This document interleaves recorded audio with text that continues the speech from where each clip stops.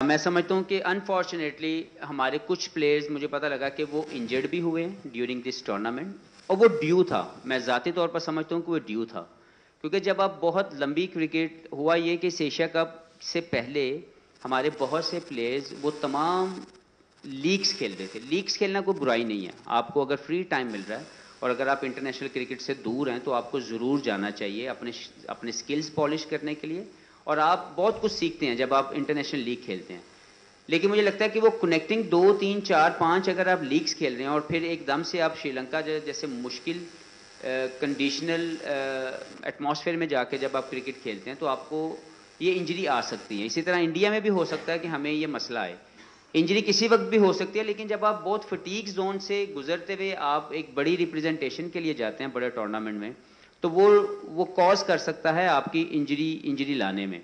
तो पहले तो मुझे लगता है कि जिन लोगों ने भी जो भी उस वक्त के डिसीज़न मेकर थे, उन्होंने ये ज़्यादा की शायद, कि उन्हें कहीं ना कहीं पे ये सोचना चाहिए था कि हम जिन प्लेयर्स को ये एन दे रहे हैं, क्या ये उनके लिए ठीक है? या क्या इतनी तादाद की क्रिकेट खेलने के बाद, इतना ज़्यादा कनेक्टिंग किस्म की लीग्स खेलने के बाद क्या रिफ्रेश किस्म की बॉडी लेके आप एशिया कप और वर्ल्ड कप खेल सकते हैं? क्योंकि एशिया और वर्ल्ड कप, एशिया कप और वर्ल्ड कप हम सबके लिए बहुत ज़रूरी है। हम चाहते हैं कि हम बायोलेट्रल सीरीज़ भी अच्छा खेलें और विद द सेम टाइम हम बड़े टूर्नामेंट के अंदर वर्ल्ड कप जैसे टूर्नामेंट के अंदर अच्छी परफॉर्मेंसेज या उसको जीतने की पूरी पूरी कोशिश करें।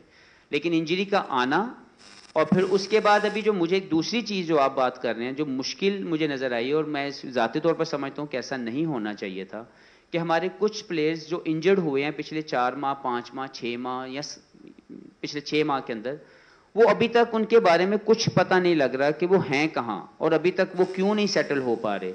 ये हमेशा से मेरा कंसर्न रहा है और मैं अपनी हमल कैपेसिटी में मैंने पहले भी कोशिश की और अभी भी कोशिश करूँगा इसके ऊपर बात करने की कि हमें अपने रिहेबिलिट रिहैब प्रोग्राम्स या अपने जो मेडिकल स्टाफ है उसको इतना इक्विप्ड करना है, या उनको इतना फैसिलिटेट करना है कि वो राइट right वे में रिहेबिलिटेशन प्रोग्राम जो है वो हिट कर सकें। हमारे यहाँ पे बहुत से प्लेयर्स इंजर्ड होते हैं और फिर उसके बाद उसकी इंजरी की रिहेबिलिटेशन प्रॉपर नहीं हो पाती। तो मजबूरन उनको मुल्क के बाहर जाना पड़ता है। तो मैं ये समझता हूँ कि अगर हम यहीं पे वो तमाम चीज़ें प्रोवाइड करें, जैसे कि सर ने भी अभी बात की थी और इन्होंने बिल्कुल राइटली मेंशन किया था कि अनफॉर्चुनेटली बायोमैकेनिकल एनालिस्ट हमारे पास नहीं है। अनफॉर्चुनेटली हम ये समझ नहीं पाते कि इंजरी होने की जो कॉज है, वो कहाँ से लीड अप कर रही है और कैसे दूर होगी। तो ये तमाम चीज़ें हैं जो गवर्नमेंट लेवल पे भी प्रोवाइड की जाएँ और पाकिस्तान क्रिकेट बोर्ड को भी चाहिए कि वो मजीद फैसिलिटेट करें अपने मेडिकल स्टाफ को ताकि वो इंजरीज में अगर कोई प्लेयर आ गया है, क्योंकि ये आएगी तो अगर वो आ गया तो उसको कितनी जल्दी हम दोबारा जो है इस काबिल करें, वो ज़्यादा इंपॉर्टेंट है कि वो दोबारा से वापस आए ग्राउंड में परफॉर्म करें।